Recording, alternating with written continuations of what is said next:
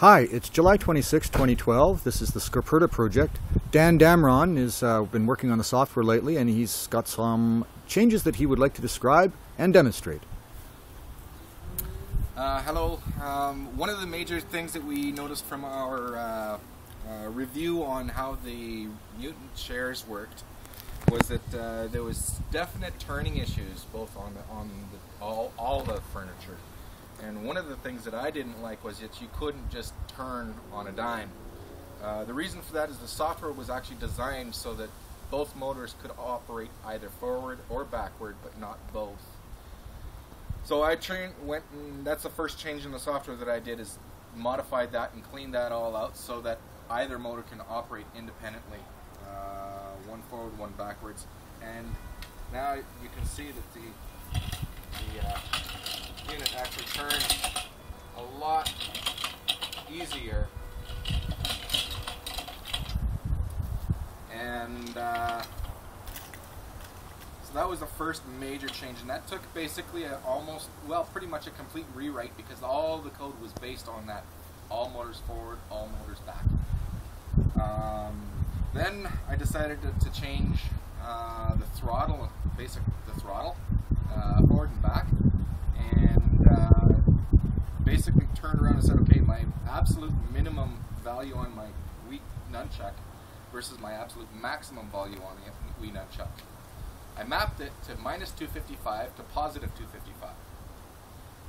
That way, whatever value, um, whatever value was there was basically going to be my full throttle, and I applied that to both motors. Uh, I did add a dead deadband in there as well, so there's the deadband. We'll talk about that later. Uh, almost identical to that, I did the same thing with the x-axis, or the left and right turning. Uh, however, the left and right turning is a little bit different in the way I add it to it. First of all, it's not a full, uh, it's mapped slightly smaller, so it's uh, plus or minus about 50. And then uh, what I did is, in order to turn left, you're actually seeing about a minus 50 at the, at the full x or full uh, negative x variable. So what I do is I take that and add that to the left motor, which means uh, left motor is whatever the throttle value is minus 50 or plus negative 50. Uh, then I also subtract it from the right motor, meaning the right motor is whatever the throttle is minus minus 50 or positive 50. Mm-hmm. Uh, and that uh, seems to work fairly well at slow speeds. At higher speeds, it doesn't so much work so, as well because all of a sudden uh, you're going and then you go to turn and all of a sudden you got this 50 turn and it throws the motor into reverse and then you just lay a great big trail of rubber and that's not so good. So anything faster than about 150 I've now also implemented what's called, I call it pulse reverse braking. And all it is is taking whatever value uh, of forward throttle that I'm using, divided by 10, and then apply that as a back throttle on that motor for 10, 10 milliseconds. Uh, with my thing. We'll edit it after. Repeat the last thing as soon as the jet goes over. okay. So at high speed, high turning rates, uh, I've taken a little bit different approach. One of the other things we noticed on the weekend was that uh, we needed to be able to brake the wheel because I, we had too much inertia going on both wheels. So I've now added a pulse back routine or, or four separate pulse brake routines. Mm-hmm.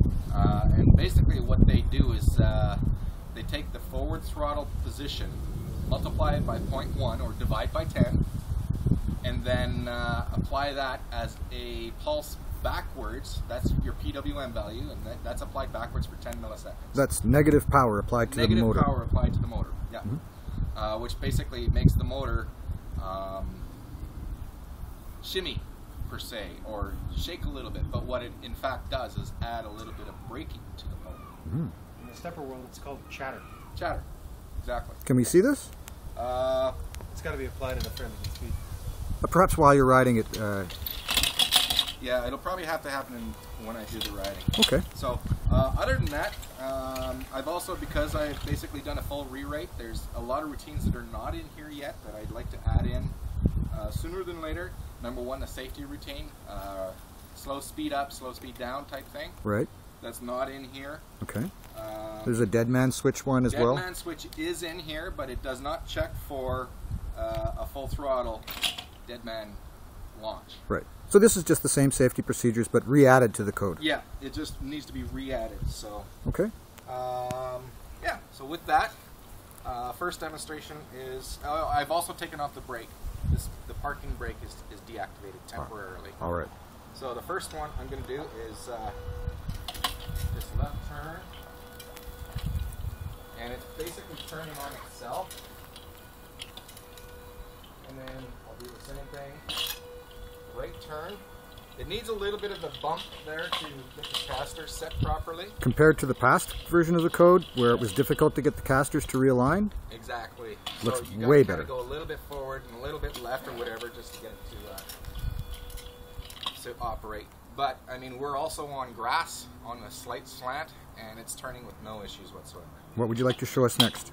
Um, you're gonna go straight. Oh, there you can hear that uh, chatter.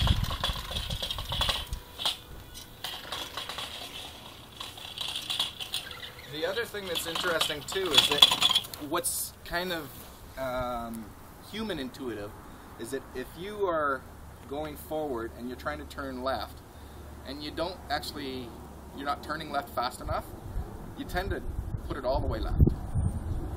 In my code, that turns around and does something else. That turns around and says, "Okay, I want to do the opposite wheel thing," and so it actually kind of assists it a little bit. But uh, that's about it. Awesome. So it works a lot better now. It can go uphill and turn while, as it's going uphill. So yeah. Well, I think I like your code a lot more than I like my code. Uh, Well- it runs a lot nicer than it used to. So, one of our problems Dan was trying to explain was that the, the forward inertia really messed us up because when you drove forward and then tried to turn left, my code would drop the power out of the motor that you wanted to turn and would result in nothing because the inertia would just keep carrying you forward because it wasn't really reducing. So Right. Dan's reverse reverse pulsing has, has allowed it to, to kind of break instead of just slowing down, and I think that's fantastic. So we have the beginnings, we have a very good beginning of active braking now, incorporated with the existing version 1.4 H bridges Yep. on the existing moving furniture platforms. And by the way, I've been monitoring the, the temperature of the H bridges with the uh, potential uh, overheating issue of reverse braking, and they're not even coming close to warming up. So We're talking ambient temperature. yeah. Awesome. Well, this is the Scoperta project reporting on October, uh, sorry, July 26, 2012. Thanks very much, gentlemen.